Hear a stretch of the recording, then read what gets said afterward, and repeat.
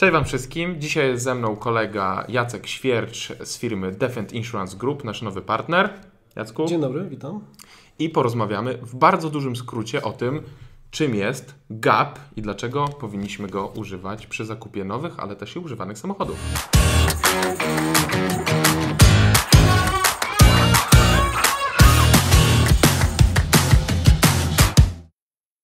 Zacznijmy. Jacku, klient, który Jan Kowalski, który, który kupuje nowy samochód bądź używany, ma z reguły do opłacenia OC, AC, jeżeli w przypadku leasingu.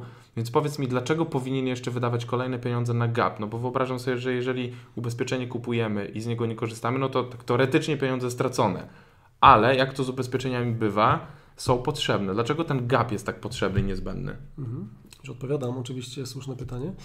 E, ubezpieczenie GAP, e, pozwolę sobie wyjaśnić w dwóch słowach, Okej. co to jest za ubezpieczenie i co go charakteryzuje. E, Mianowicie, ubezpieczenie GAP w wielkim skrócie to ubezpieczenie utraty wartości pojazdu, ale na skutek wystąpienia szkody całkowitej. Czyli ubezpieczenie GAP zaistnieje i będzie możliwość uzyskania odszkodowania w sytuacji, kiedy dojdzie do tej szkody całkowitej. Mowa tutaj m.in. o kradzieży, o spaleniu, Okej. o kolizji z OC sprawcy, o kolizji z naszej strony, Mhm. z, naszego, z, naszej, z naszego powodu. E, Czyli rozumiem to tak, że jeżeli e, mamy szkodę całkowitą i ubezpieczyciel wypłaca nam e, odszkodowanie, to zakładam, że on wypłaca odszkodowanie wyliczone na dzień e, szkody, dokładnie. a nie wartości tej, której, za którą my nabyliśmy ten pojazd. Oczywiście. I gap jest po to, żeby tą właśnie różnicę nam pokryć. Dokładnie tak. Dokładnie tak. Innymi słowy, ubezpieczenie GAP pokrywa nam różnicę między wartością pojazdu, yy, za którą kupiliśmy pojazd, Mhm. a wartością pojazdu na dzień wystąpienia tej szkody całkowitej. Zasymulujmy taki przypadek. Dzisiaj klient kupuje pojazd w wartości 100 tysięcy złotych. Okej. Po trzech latach spadek tej wartości rezydualnej nastąpił o 50%. No nie będzie. Niech będzie, dla przykładu. Mhm. Czyli wartość, która nam spadła, tej wartości początkowej, mm, to jest 50 tysięcy złotych. Mhm. W przypadku wystąpienia szkody całkowitej, czy z naszej winy, czy z OC sprawcy, podstawowy zakład ubezpieczeń wypłaci nam właśnie tą wartość 50 tysięcy. I to Okej. wszystko. Nie mając ubezpieczenia GAP, klient otrzymuje 50 tysięcy. Mając Posie- ubezpieczenie? Mając, 50, mając ubezpieczenie GAP, klient otrzymuje od Defend Insurance różnicę, czyli dodatkowe 50 tysięcy do tej pierwotnej wartości, za którą kupił pojazd. Oznacza to, że w perspektywie tych trzech lat klient po tych trzech, lata, po, po tych trzech latach klient znowu dysponuje wartością 100 tysięcy złotych. Okej. Y, Pozwala to klientowi kupić dokładnie taki sam pojazd, tej samej wartości, tej samej klasy, ten, który miał przed szkodą.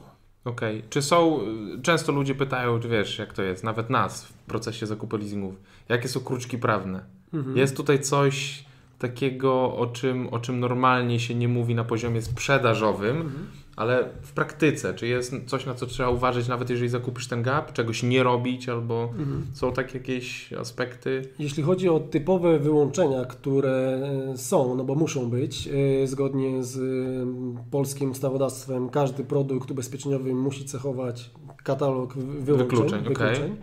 Tak, w tym przypadku mogę powiedzieć już z procesu doświadczenia i w procesie likwidacji, całą taką lwią część e, wykonuje za nas podstawy zakładu ubezpieczeń, Mhm. ponieważ gdy dochodzi do szkody całkowitej, e, to podstawowy zakład ubezpieczeń weryfikuje, czy klient miał odpowiednie uprawnienia do kierowania pojazdem, czy klient był pod wpływem e, alkoholu, czy klient Zgodnie z też, czy nie modyfikował pojazdu, tak jest, zgodnie z przeznaczeniem używał ten pojazd. Natomiast Mhm. my, jako e, cover holder firmy Defend, e, firmy Lloyds, e, aby wypłacić klientowi należne odszkodowanie, potrzebujemy tak naprawdę decyzji, którą klient otrzymał z podstawowego zakładu ubezpieczeń. Czyli rozumiem, że jeżeli od ubezpieczyciela dostaje informację, że należy mu się wypłata odszkodowania i nie ma tam zastrzeżeń na zasadzie, że wypłacamy tylko część, bo, no to Defend jako, jako produkt, jako Defend Insurance Group, jako Defend Gap, wy wypłacacie pozostałą wartość, która była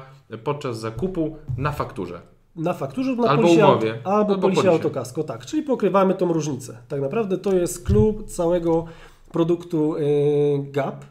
Y, klient w momencie y, zdecydowania się wyboru produktu GAP powinien mieć świadomość, że niezależnie w którym okresie dojdzie do szkody, czy to w pierwszym, drugim, trzecim, czwartym, piątym roku, bo nawet na 5 lat umożliwiamy Mhm. zawarcie tego ubezpieczenia, zawsze w sytuacji, kiedy dostanie informację, że od podstawowego zakładu ubezpieczenia, że ta szkoda całkowita jest, otrzymuje odszkodowanie nawet 150 tysięcy złotych. W tym momencie mamy możliwość wypłacenia klientowi do, do 150 tysięcy złotych limitu odszkodowania. Okej. E, Znaczy Jacku, bo powiem tak, w dużym skrócie już, y, bo to chodziło o to, żeby to było w takim skrócie. Ja Ci bardzo dziękuję. Jeżeli chodzi o szczegóły tego ubezpieczenia, w szczególności przy zakupach, które realizujecie poprzez akurat naszych doradców Kingsman Finance, to możecie poznać z Piotrkiem bądź Tomkiem, Wojtkiem, Sebastianem, Jakubem. Y, A jeżeli chcecie dowiedzieć się więcej na temat GAP-u, to dajcie nam swoje komentarze i powiedzcie, co chcecie się dowiedzieć, a my z Jackiem na pewno jeszcze dokręcimy jakiś materiał. Możemy się na to umówić? Oczywiście, z wielką przyjemnością. Jacku, bardzo dziękuję za Dziękuję. odwiedziny w biurze. Trzymajcie się wszyscy. Na razie, hej, cześć.